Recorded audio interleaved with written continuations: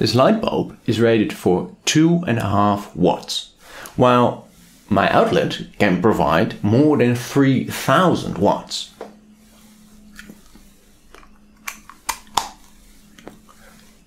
So why does this light bulb not try to use everything?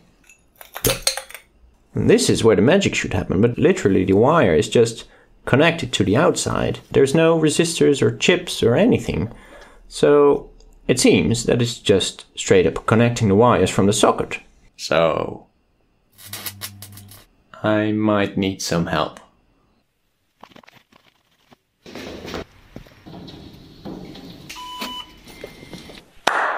As you can see, this is my brother, and he has a black belt in nerd. I mean, a master in chip design, which is basically the same thing. The main thing I don't understand is why it doesn't pull more electricity than it can handle. So there's no like pooling, it's just like there's a relation between voltage and current. What he's getting at here is that every electrical component has a resistance, and that resistance determines the ratio between voltage and current.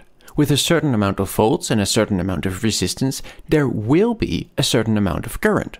Actually, if you know any two of these three, you can work out the other one. So if you make a thicker wire, it will have less resistance. It will have less resistance, so more current will flow for the same uh, voltage. So if you have like uh, 220, 220 volt and you put such a big wire in your light bulb, Yeah. it would draw 3000 watts.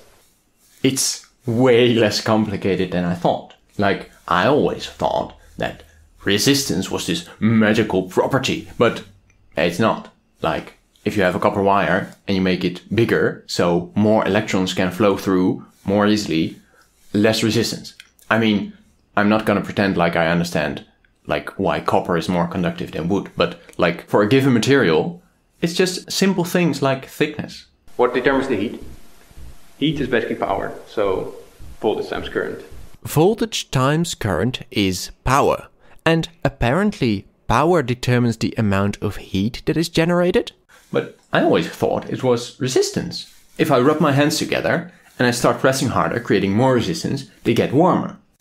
But you gotta be careful. If I keep the power steady and I start pressing harder to increase resistance, my hands just stop moving. I also have to increase power. So power actually determines the amount of heat. And with light bulb, it's actually the case that if you lower resistance, more power can flow through. So with less resistance, they actually get hotter.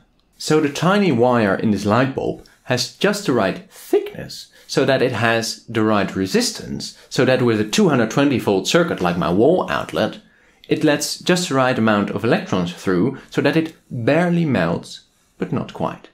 But what happens if your light bulb isn't made for 220, but for 2.4?